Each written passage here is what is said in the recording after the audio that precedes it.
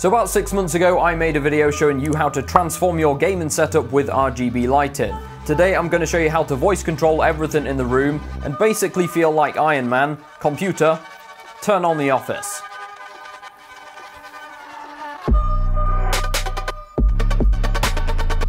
So what you just saw there was me turn on my entire office, including two PCs with one voice command, and it also works the other way around as well, so I can tell the computer to turn off the office, and it will turn everything off, including the two PCs. So Josh, how do you do it? Well guys, let me tell you. Alright, so I'll split this video into two parts. First we'll go through the lighting, then we'll talk about the PCs. Just a quick heads up, I will be saying the word Alexa quite a few times in this video, so if you guys have one and you want to mute it, now's the time to do it. Oh, and also, everything I talk about today will be linked down below in the description, so if you guys see anything you like, you can go check it out there. But yeah, I've got a lot of RGB products and they all use different control methods. Some are controlled via Wi-Fi using an app, some are Bluetooth, and some are dumb in that they don't have an app, they either just have an on-off switch, they're USB powered or they come with a little remote. Now you probably already guessed that I'm using Alexa to turn everything on using one command. This is the Amazon Echo Show 8. And you might have noticed as well that I renamed my wake word from Alexa to computer, just because I think it's a bit cooler. But how do we hook everything up? Well, like I said, some of the RGB products in this room are already Wi-Fi enabled with app control. One of those devices would be the Nanoleafs, and to connect them to Alexa,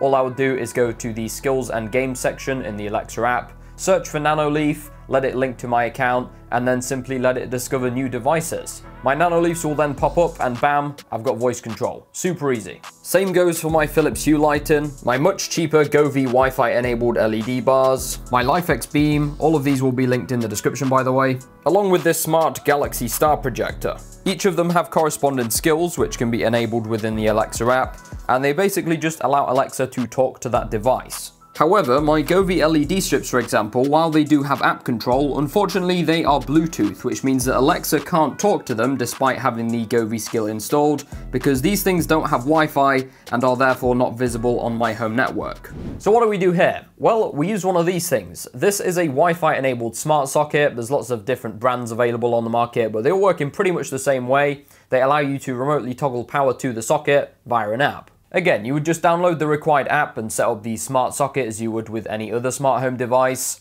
Then install the corresponding skill in the Alexa app, and bam, you have voice control of that socket. Whatever's plugged into it can be turned on and off. Now, of course, I wouldn't be able to tell Alexa to change the color of the LED strips that I have plugged into this smart socket because remember, Alexa isn't talking directly to the strips, she's talking to the socket. But it does at least allow me to turn the strips on and off, which in this case is all I really need. Now, I use the same exact method for my RGB cabinet lights, even though they are completely dumb and don't have any app control, I can still add them to my home network and turn them on and off with Alexa. Pro tip, if you've got a bunch of devices all in one area that you want to have group control of, plug all of those devices into a power strip, then plug that power strip into a smart socket, and then you'll have voice control of everything plugged into it. That's what I do for this central part of the room, and it works great. Now, you guys might not have seen, but my TV and my Dyson fan actually turned on earlier, even though they use old-fashioned IR remotes. That's where this thing comes in. It's a smart IR blaster device which you can teach infrared signals to. So if I wanted to teach it how to turn on my TV, I would grab my TV remote, point it at this device while pressing the on off button,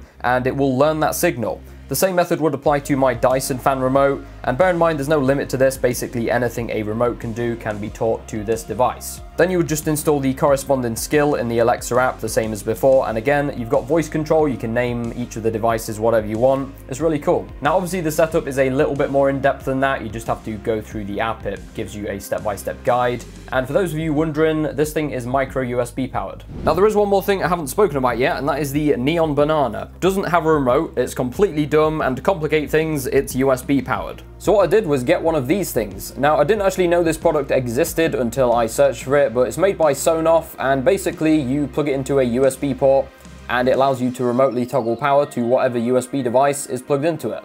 It uses the eWeLink platform and the setup is very similar to other products. You install the eWeLink app, search for the device, add it, then you go to the Alexa app, install the corresponding skill, let it scan for new devices, and once again, you've got voice control via your Amazon Echo. So yeah, USB smart socket. I thought that was super cool, lots of potential use cases. So that's how I control all of my devices and RGB lighting. They're either Wi-Fi enabled to begin with, or if they're not, I'll just use smart sockets, smart USB dongles, or that cool little IR blaster device. Now, we'll mention at this point that once you've added everything to the Alexa app, you can rename them and reorganize them however you want. So I've added all of my devices to a room called Office, so I can just say turn off the office and it'll do everything at once. And of course you can control stuff individually, so if I want to say turn off the neon banana, it'll just do that. So this is the bit you've all been waiting for. Josh, how do you use Alexa to turn your PCs on and off? Well, it uses Wake on LAN technology and I'm going to run you through how to set it up right now. Step 1. Type Device Manager into the Windows search bar and hit enter. Step 2. Click the drop down menu under Network Adapters. Step 3. In this list, look for your main physical Ethernet network adapter. Should be near the top and will usually be called something like Intel or Realtek. Right click it and select Properties. Step 4, go to the Advanced tab, scroll down to the bottom, make sure Wake on Magic Packet is enabled. If it's not, enable it now and click OK. Step 5, next type Network Properties into the Windows search bar and hit Enter.